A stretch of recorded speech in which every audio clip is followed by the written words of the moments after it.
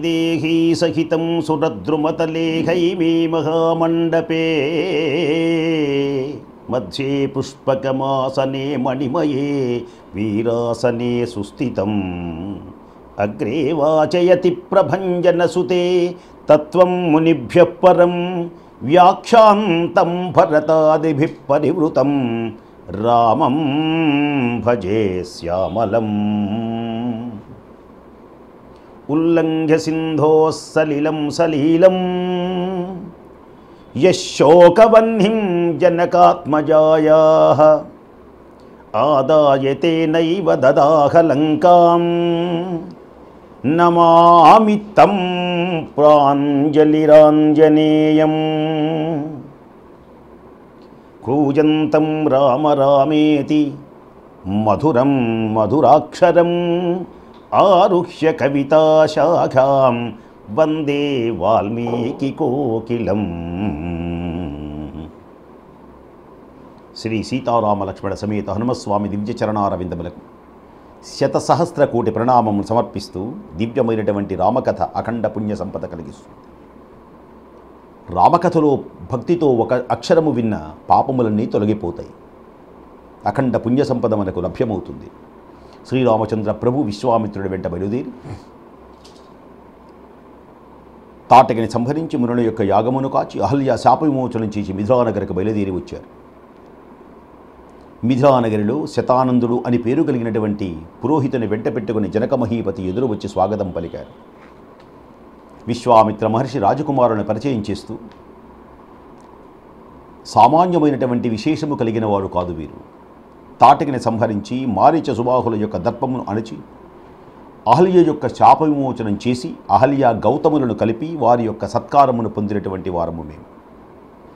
రామచంద్రమూర్తి వైభవాన్ని తిలకించినటువంటి శతానందుడు తన తల్లి యొక్క శాప విమోచనము చేసినటువంటి మహానుభావుడని భావించి విశ్వామిత్ర మహర్షి యొక్క దివ్యమైనటువంటి వైభవాన్ని తెలియచేస్తున్నారు. విశ్వామిత్ర మహర్షి సుక్షత్రియ సంజాతుడై లోకములు తిరుగుతూ వశిష్ఠ ఆశ్రమానికి చూచి వశిష్ఠుని యొక్క ఆతిథ్యమును స్వీకరించి ఆశ్చర్యచకుతుడైనాడు ఈ ఆతిథ్యమునకు కారణము శబల అని పేరు కలిగినటువంటి దివ్యమైనటువంటి ధేనువు. ఈ ధేనువు యొక్క మహిమను గ్రహించి ఆ ధేనువు నాకు కావాలి అన్నాడు. ఈ ధేనువు సర్వశక్తి సమన్వితురాలై ఈమెను ఇవ్వటానికి వీలు లేదు అన్నాడు వశిష్ఠుడు. బలవంతాన ఎప్పుడైతే దానిని తీసుకొని వెళ్తున్నాడో శబల అని పేరు కలిగినటువంటి ఆవు వశిష్ఠుల వారిని కోరుకున్నది. నన్ను ఏమి చెయ్యమంటావు అని. సర్వశక్తి సమన్వితురాలైనటువంటి నీవు రక్షించుకోమనగానే అనేక మంది తన యొక్క కాలి గిట్టలలో నుంచి చెవులలో నుంచి తన యొక్క రోమ రోమములో నుంచి అనేక మంది సైన్యం వచ్చి ఈ గాధేని యొక్క సైన్యమునంతా సర్వనాశనం చేశారు. ఆగ్రహం కలిగినటువంటి ఆయన ఏమీ చేయలేక బాధపడి దివ్యమై మనోహరమై సర్వశక్తి సమన్వితమైనటువంటి హిమ పర్వతములకు వెళ్ళి ఈశ్వరుని మెప్పించి అనేకమైనటువంటి అస్త్రములను పొంది ఆ దివ్యమైనటువంటి అస్త్రశస్త్రములతో వశిష్ఠుని ఆశ్రమానికి వచ్చి ఆగ్నేయాస్త్రంతో సర్వం భస్మం చేశాడు. హాహాకారాలు చేసినటువంటి మహర్షులు విలవిలలాడినటువంటి మహర్షులు వశిష్ఠ మహర్షిని ఎప్పుడైతే కేకలు పెట్టి మహర్షి కాపాడమనగానే మహర్షి బ్రహ్మదండమును అలా ఉంచాడు. దివ్యమైనటువంటి అస్త్రశస్త్రములన్నీ కూడా దానిలో లీనమైపోయినాయి. బాధపడినటువంటి బ్రహ్మ బ్రహ్మర్షి యొక్క వశిష్ఠుని యొక్క దివ్యశక్తి ముందు తన శక్తి నిర్వీర్యమైపోయిందని బాధపడి భార్యా సమేతుడై ఘోరమైనటువంటి తపస్సు చేశాడు. బ్రహ్మదేవుడు ప్రత్యక్షమైనాడు. రాజర్షి అన్నాడు ఆయన. ఇంత తపస్సు చేసి చివరకు అస్త్రశస్త్రములను వ్యర్థమైపోయినవే. నేను చివరకు రాజర్షిగానే మిగిలిపోయినానే అని బాధపడ్డాడు. సరే. బ్రహ్మబలం ఈ బ్రహ్మబలం ముందు క్షత్రియ బలం. సూర్యుని ముందు దివిటి అయిపోయింది. నేను బ్రహ్మర్షిని కావాలి అని ఘోరమైనటువంటి తపస్సుకు లీనమైనాడు ఈ సమయంలోనే త్రిశంకుడు అని పేరు కలిగినటువంటి ఒక భూపతి సశరీరంగా స్వర్గానికి వెళ్ళాలి అనుకున్నాడు. సశరీరంగా ఎప్పుడైతే స్వర్గానికి వెళ్ళాలి అనుకున్నాడో వశిష్ఠ మహర్షిని వేడుకున్నాడు. నాయన నాయనా సశరీరంగా స్వర్గానికి వెళ్ళడం చాలా కష్టం. ఓ బాధపడినటువంటి త్రిశంకుడు కుమారుల దగ్గరకు వచ్చి కుమారులకు ఎర చూపించి మీరు ఏదో ఒక యజ్ఞమైనా చేసి నన్ను సశరీరంగా పంపించాలి అనగానే ఆగ్రహం చెందినటువంటి వ్యక్తి వశిష్ఠుని యొక్క కుమారుడు శపించారు చండాలుడు కమ్మని. బ్రాహ్మణ శాపంతో ప్రాప్తించినటువంటి చండాలత్వానికి రోసి త్రిశంకుడు బంధువులు హితులు అందరూ కూడా వారందరినీ విడిచిపెట్టి వెళ్ళిపోయినాడు.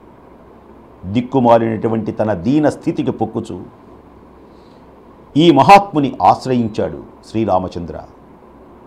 విశ్వామిత్రుడి దగ్గరకు వచ్చాడు. నేను సశరీరంగా వెళ్ళాలి స్వర్గానికి అంటే వశిష్ఠుల వారు కాదన్నాడు. కుమారుడు శపించారు. విషయము విన్నటువంటి గాధేయుడు పరికించి నీ తప్పు లేదు.